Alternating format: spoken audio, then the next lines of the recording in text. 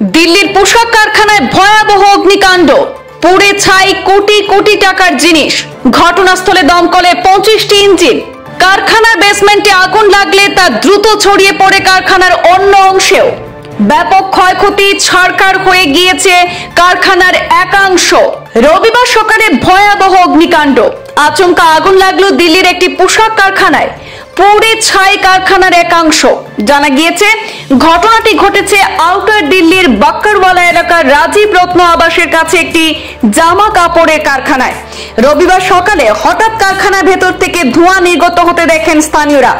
সাথে সাথে খবর দেওয়া হয়, দমকলে আগুন লাগার খবর পেয়ে তাৎক্ষণিক ঘটনাস্থলে পৌঁছায় দমকলে পঁচিশটি ইঞ্জিন এবং আগুন নিয়ন্ত্রণে আনার চেষ্টা চালান। তবে কীভাবে আগুন লাগল তা যদিও এখনও পর্যন্ত স্পষ্ট নয়। জানা গেছে, কারখানার বেসমেন্টে আগুন লাগে এবং তা খুব দ্রুত, অর্থাৎ আগুনের লেলিহান শিখা, সেখানে দ্রুত ছড়িয়ে পড়ে কারখানার অন্য অংশেও। এতে ব্যাপক ক্ষয়ক্ষতি হয়েছে, কোটি কোটি টাকার জিনিসপত্র পুড়ে ছাই হয়ে গেছে। দমকল আধিকারিক সূত্রে খবর যে সকাল দশটা নাগাদ কারখানা বেসমেন্টে আগুন লাগে আর সেই আগুন খুব দ্রুত কারখানার অন্য অংশেও ছড়িয়ে পড়ে। প্রত্যক্ষদর্শীরা জানাচ্ছেন যে আচমকাই তারা আহ, কারখানার ভেতর থেকে ধোঁয়া বেরোতে দেখেন এবং সেই ধোঁয়া আতঙ্ক ছড়ায় আশপাশের এলাকায়। স্থানীয়রাই দমকল এবং পুলিশকে খবর দেন কিন্তু ততক্ষণে আগুনের লেলিহান শিখা কারখানার বিস্তীর্ণ অংশে ছড়িয়ে পড়েছিল।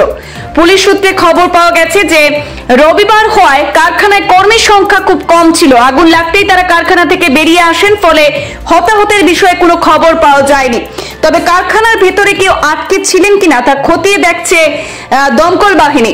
স্থানীয়রা আরও জানিয়েছেন যে কারখানার যে অংশে আগুন লাগে, সেখানে নাকি গুদাম ঘর ছিল পোশাক এবং পোশাক তৈরির নানা সামগ্রী থাকায় আগুন সেখানে খুব দ্রুত ছড়িয়ে পড়ে। প্রথমে কারখানার কর্মী এবং স্থানীয়রা আগুন নেভানোর চেষ্টা করেন, কিন্তু আগুন বড় আকার ধারণ করে ফেলায়।